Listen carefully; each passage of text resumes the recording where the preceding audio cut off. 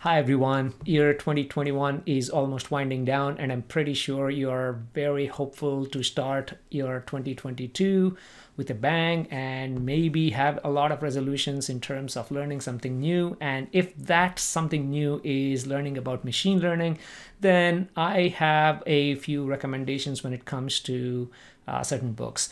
And these are all based on my specific, my personal point of view. These are all based on uh, uh, the way I like to learn.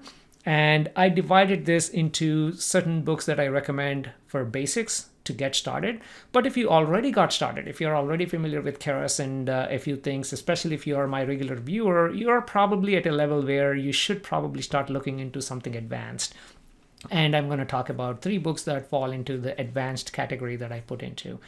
So let's go ahead and start by looking at one by one and I'll explain why I am recommending that book or at least I'll talk about what you can expect as part of that book so you can decide whether that is for you or not for you. Starting with the first one. So this is the 100 page machine learning book as the name suggests. It's kind of almost 100 pages and it's easy to understand. This book, I think even if you're advanced or basic or wherever you are, I definitely recommend getting this book. And uh, of course, all the suggestions I'm going to show you assume that you have Python background. None of these are Python training books. Then you need to take a step back and learn Python first. This assumes that you know Python, you know how to handle NumPy and Pandas and all that stuff. So now you want to get started with machine learning. So this is a great book to get, uh, get started with. And this is almost a must read for anyone for anyone who'd like to get started with machine learning. And it has uh, many topics. It covers many uh, topics in machine learning, including your traditional machine learning and uh, uh neural networks. It also talks about uh, model performance parameters, for example, including uh, including uh, a confusion matrix, for example. So these are the things I remember about this book, and this is one of the few books that I kind of uh, read from end to end. Oftentimes, you find chapters that you're, you know, not relatable, but this one again, it's only 100 pages, so definitely uh, readable. And uh, like I mentioned, it talks both about the regular machine learning and also the neural networks. Now, moving on to uh, the next book. This is uh, uh, titled Deep Learning with Python, and this is uh, by Francois. I, I don't want to screw up pronouncing the last name, but anyway, the first name is Francois. And this is another great book, again, that provides the basics of deep learning. And this one also, if you have Python background, you can get started from scratch. If you know nothing about machine learning or deep learning, this can be a very good start. And it's written for people uh, with Python, uh, of course, with Python programming experience, but you want to get started with machine learning. I'm repeating this fact, uh, this point, because this is this is actually a true statement. I all I consider these two books and the one I'm going to show you later almost as companions to my YouTube channel, the content that I cover on my YouTube channel. Uh, most of this would be repetition, but then it, it goes obviously into uh, certain depth. Uh, these these uh, this specific book is I believe uh, uh, they have two variations of this book. One where the code is all in Keras and the other one is PyTorch. So pick the one that you are comfortable with. I, of course, am a Keras person, so I picked up the one that has Keras examples. And uh, there is not much math in this book. Uh, as far as I remember, there is not much math. Most of the concepts are explained using simple code. And that's exactly how I like to learn. Of course, I like to delve into math. I'll talk about those books in a minute. So this is almost, uh, again, another great book that you I definitely recommend. And the next one, I already talked about this book, uh, uh, Automated Machine Learning with AutoKeras. I actually did a separate video reviewing this specific book, and uh, as the name suggests, it summarizes the core essence of AutoKeras. And this is for those of you who want uh, easy access to these machine learning uh, libraries, machine learning algorithms. It's easier than Keras. So let me put it that way. So uh, again, it definitely includes uh, classification and sentiment analysis, the typical stuff that you would expect uh, a, a, machine learning book to have. So moving on to the next one, this is uh, deep learning for computer vision. I picked this up because I am a image analysis person. So I was uh, expecting uh, to, to learn more about computer vision, maybe about uh, OpenCV or deep learning. But this is an okay book, I should say. Of all the ones I showed you, this is still, uh, if you really want to get into image analysis, this is not a bad book to uh, pick up. And uh, it explains the basics again, as the other books do basics of machine learning, basics of neural network, and of course, with a focus on uh, image processing. Uh, there are lots of code snippets uh, that makes it easy for you to understand, but the only issue, the reason I if you sense a negative tone towards this book, the only reason is because it doesn't talk about semantic segmentation at all. So if you're looking for segmentation, semantic segmentation.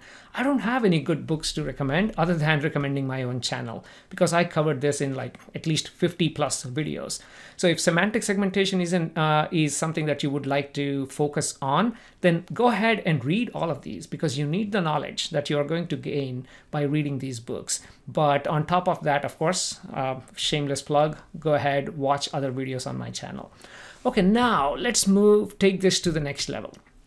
So here is a little advanced book. This is, if you really want to call yourself a machine learning engineer or deep learning engineer, uh, and you apply for certain jobs where you're expected to put together these algorithms, uh, you better learn the content in this specific book. It's advanced, of course, like I mentioned, but uh, I definitely recommend reading it. And it's uh, it's uh, definitely not a book about uh, Keras or any other framework.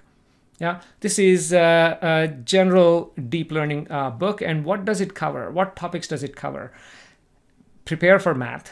And it covers uh, linear algebra. This covers uh, uh other machine learning uh, basics, deep learning optimization, for example. Yeah, and uh, it even covers like autoencoders, for example, if you are looking for something of that sort. But it uses math where it is required. But I find this to have a lot of English and math whenever you need it.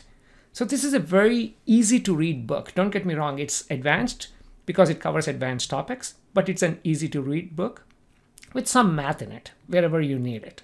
Okay, so definitely uh, one of the uh, almost like a Bible for machine learning if you really would like uh, a book as a reference book. Okay, now moving on to the next one, pattern recognition and machine learning. Again, I picked up this book because it says pattern recognition. And uh, this is this turned out to be very advanced and I like it. I mean, I, I, I don't pretend that I understand every page in this book, and I don't even, uh, in fact, the top two books, the bottom four, I, I literally did page every page. I mean, I at least looked at them once.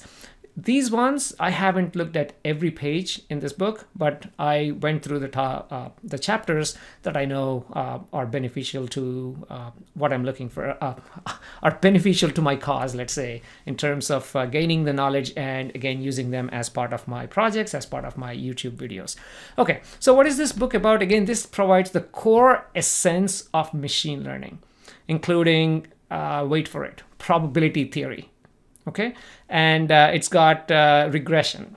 It's got uh, uh other topics like um, uh, the probabilistic generative and uh, discriminative models. And if none of that makes sense to you you better pick this book up and then read all of this because if you go to interviews especially advanced uh, at uh, for advanced positions or at bigger companies you you'll probably get questions from these type of books. I mean i'm not saying you'll get questions right out of this book but this book captures all the concepts that are probably required for a good deep learning engineer at a specific uh, job location that you're looking for. Uh, not all the skills are required at every place but uh, like i said this is one of those other advanced books that i definitely recommend uh, at least having as a uh, reference.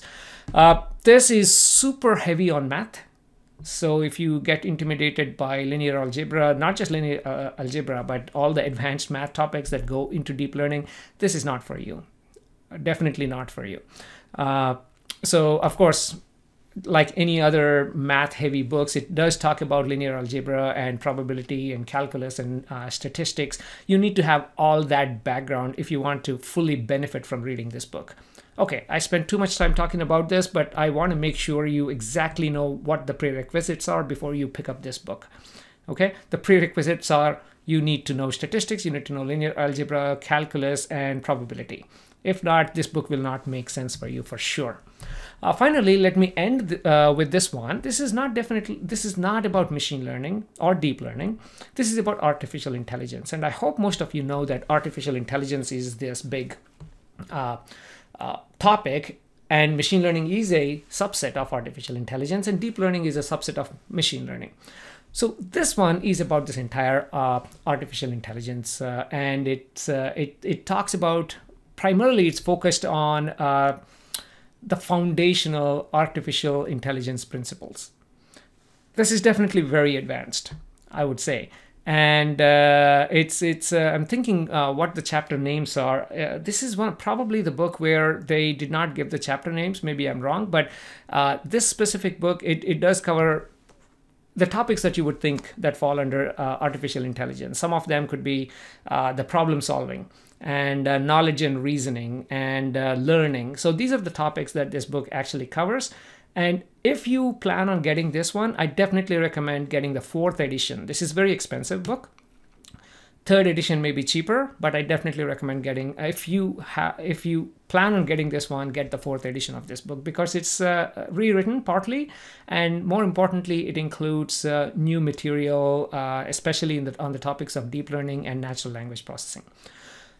This is over 1000 if i remember this is like 1100 or some pages and uh, i definitely did not read every page of this book. I read probably 10% if at all uh, in this specific book but this is again one of those reference books that uh, you can go back occasionally and then learn about something new as part of your artificial intelligence.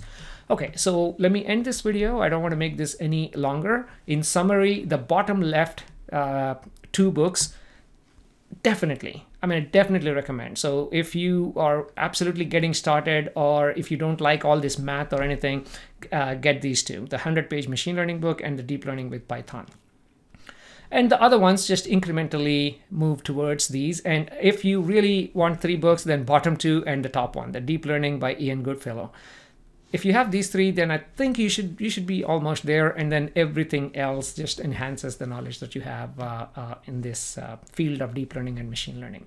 Okay, thank you guys, and have an amazing year 2022. Uh, just learn about new things all the time, and uh, one way to doing that is by subscribing to my channel, liking and commenting, and so on.